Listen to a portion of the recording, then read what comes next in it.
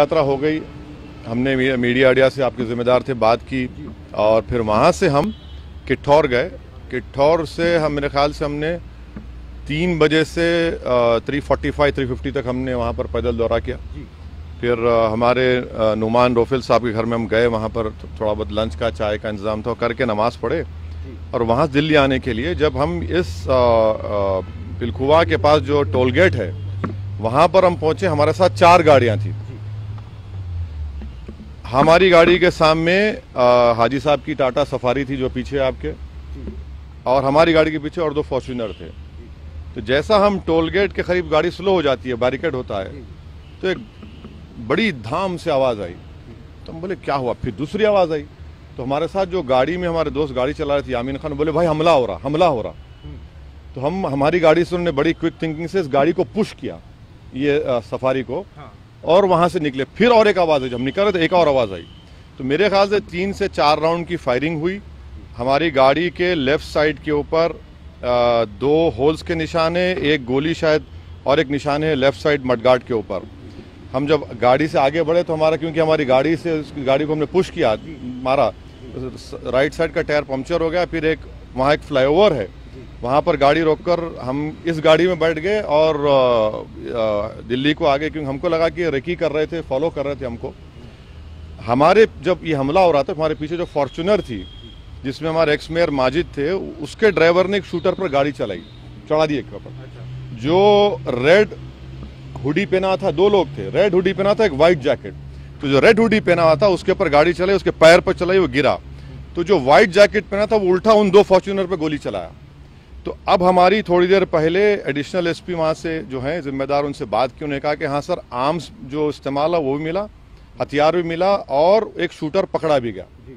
तो हमारी election commission of India से ये गुजारिश है कि इसकी इंडिपेंडेंट जाँच करवाई जाए और ये कौन है लोग किसका दिमाग है इसके पीछे और आखिर क्यों ये हमला हुआ किसने ये कॉन्स्परेसी की ये जानना बेहद ज़रूरी है। और सुनिए और और हम स्टेट गवर्नमेंट और मोदी गवर्नमेंट दोनों से ये कह रहे हैं कि ये इनकी ज़िम्मेदारी है कि वो इंडिपेंडेंट जाँच करवाएँ और इसके पीछे दिमाग किसका है?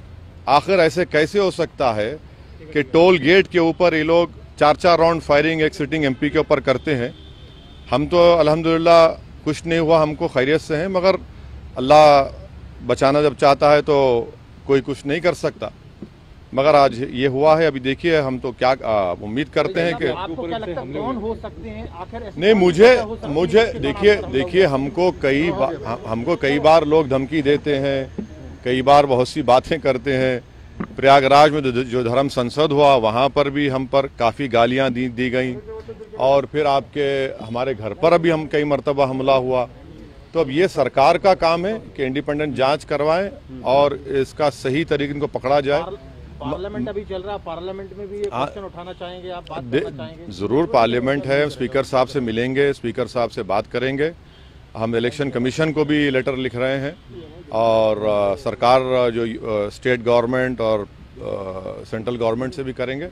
मगर अल्हम्दुलिल्लाह अल्लाह करम खैरियत से। ये ना सिर्फ़ कंडेमनेबल है बल्कि तो सबको सोचना पड़ेगा कि आखिर ये कौन लोग हैं जो इतनी हिम्मत करके गोली भी चला रहे हैं और ये सब हरकतें कर रहे हैं। सर इलेक्शन से ठीक पहले ये सब क्या दर्शाता है? हाँ।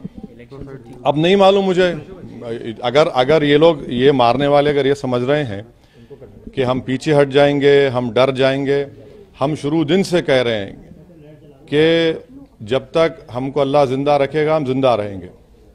जिस दिन हमारा वक्त आएगा हम चले जाएँगे।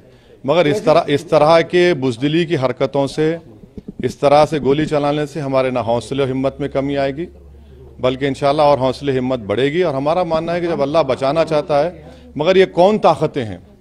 और कैसे उत्तर प्रदेश में ये इस तरह की हरकत हो रही है, ये तो जनता को भी देखना है।